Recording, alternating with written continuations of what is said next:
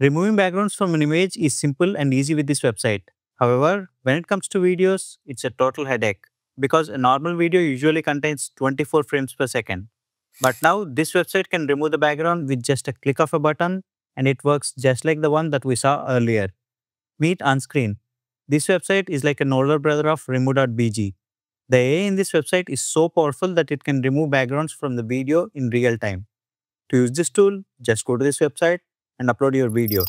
You can also use it to remove backgrounds in GIF as well. Once uploaded, you can see the website removing the backgrounds almost instantaneously. Not only that, you can also add and change backgrounds easily just like this with a single click of a button. So no more using complex graphic tools in order to remove a background. Use this and remove it easily. So if you like this video, share it with your friends and my channel is filled with some amazing videos like these. So be sure to subscribe to my channel to not miss anything interesting.